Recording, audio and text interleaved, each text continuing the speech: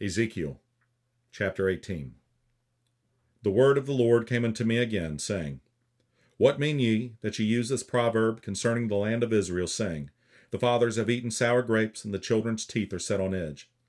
As I live, saith the Lord God, ye shall not have occasion any more to use this proverb in Israel. Behold, all souls are mine. As the soul of the Father, so also the soul of the Son is mine. The soul that sinneth, it shall die.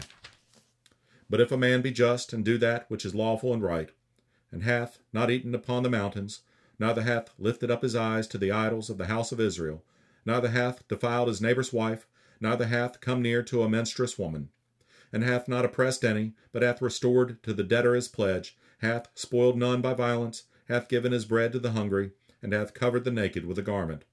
He that hath not given forth upon usury, neither hath taken any increase, that hath withdrawn his hand from iniquity, hath executed true judgment between man and man, hath walked my statutes, and hath kept my judgments, to deal truly, he is just. He shall surely live, saith the Lord God. If he beget a son that is a robber, a shedder of blood, and that doeth the like to any one of these things, and that doeth not any of those duties, but even hath eaten upon the mountains, and defiled his neighbor's wife, hath oppressed the poor and needy, hath spoiled by violence, hath not restored at the pledge, and hath lifted up his eyes to the idols, hath committed abomination, hath given forth upon usury, and hath taken increase, shall he then live? He shall not live. He hath done all these abominations. He shall surely die, his blood shall be upon him. Now lo, if he beget a son that seeth all his father's sins, which he hath done, and considereth, and doeth not such like, that hath not eaten upon the mountains, neither hath lifted up his eyes to the idols of the house of Israel, hath not defiled his neighbor's wife, neither hath oppressed any, hath not withholden a pledge, neither hath spoiled by violence, but hath given his bread to the hungry, and hath covered the naked with a garment, that hath taken off his hand from the poor, that hath not received usury nor increase, hath executed my judgments, hath walked in my statutes. He shall not die for the iniquity of his father, he shall surely live. As for his father, because he cruelly oppressed, spoiled his brother by violence, and did that which is not good among his people, lo, even he shall die in his iniquity.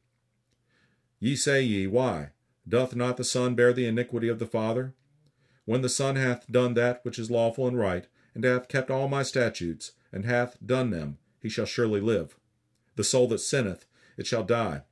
The Son shall not bear the iniquity of the Father, neither shall the Father bear the iniquity of the Son. The righteousness of the righteous shall be upon him, and the wickedness of the wicked shall be upon him. But if the wicked will turn from all his sins that he hath committed, and keep all my statutes, and do that which is lawful and right, he shall surely live, he shall not die. All his transgressions that he hath committed, they shall not be mentioned unto him. In his righteousness that he hath done, he shall live. Have I any pleasure at all that the wicked should die, saith the Lord God, and not that he should return from his ways and live? But when the righteous turneth away from his righteousness, and committeth iniquity, and doeth according to all the abominations that the wicked man doeth, shall he live? All his righteousness that he hath done shall not be mentioned, in his trespass that he hath trespassed, and in his sin that he hath sinned, in them shall he die. Yet ye say, The way of the Lord is not equal. Hear now, O house of Israel. Is not my way equal? Are not your ways unequal?